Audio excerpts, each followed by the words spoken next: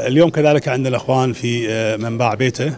آه، عندهم كذلك موضوع آه، قضيتهم مجلس الأمة تبنينا هذا الموضوع وقرينا القانون بطبعا يفتح لهم طلبات إسكانية وتوزع لهم بيوت حكومية. القانون مضى عليه حاليا ثلاث سنوات ونص.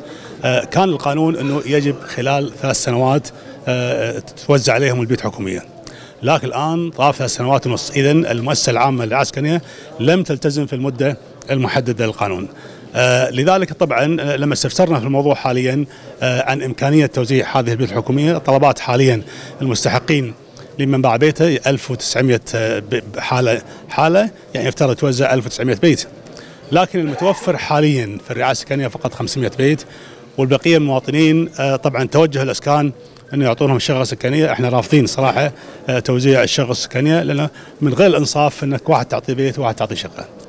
لذلك الآن بما أن المؤسسة العامة للعسكريه يعني آه، أصبحت غير قادرة على تنفيذ القانون فدورنا الآن في مجلس الأمة أن نعدل التشريع بحيث نعطيهم قسائم سكنية لأنها متوفرة حاليا وقرض 70 ألف دينار لنحل هذه المشكلة لإخواننا من باع بيته.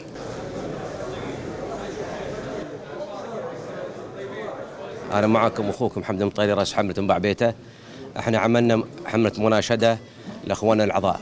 والحمد لله أول ما تبناها النائب سعد الحماد ونوجه له الشكر وندعمه في هذا المقترح اللي راح بإذن الله تعالى يوسع على الأسرة الكويتية كلها. ونوجه لك لك الشكر أبو محمد ما قصر. بارك الله فيك. مشكور.